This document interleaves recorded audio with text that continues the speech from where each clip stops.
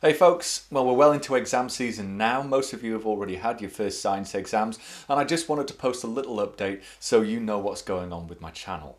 Uh, firstly, I want to say a big, big thank you. Uh, it's currently Thursday the 14th of May 2015 and on Sunday I went through 4,000 subscribers. That was amazing. But before I even really had a chance to do anything about it, on Wednesday I passed 5,000 subscribers. So that was just yesterday and I am so blown away by all the support which I've got from you. It's absolutely amazing.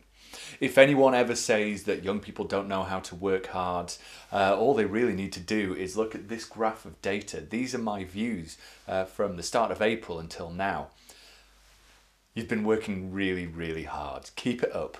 Uh, you're nearly done with all that hard work. You can go back to watching Zoella and PewDiePie and whoever you like. About a month to go though, okay? You're in the final home straight. You'll be done pretty soon. With this increase in traffic, there's also been an increase in the number of comments I'm getting as well. This is absolutely fantastic and you've been really positive.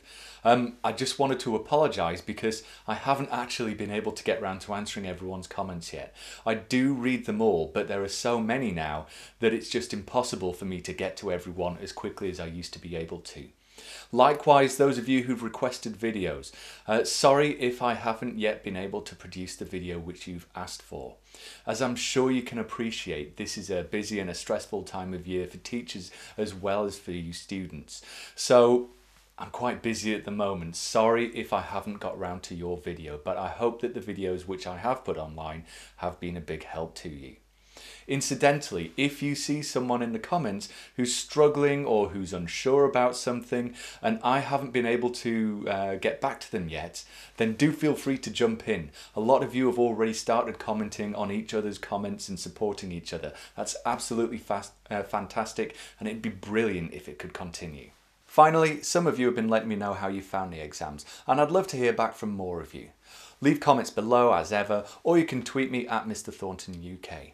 Remember, it's not long to go now. These will soon be over and they'll be behind you. So try and stay calm. And for all the exams you're sitting, not just science, I wish you the very best of luck.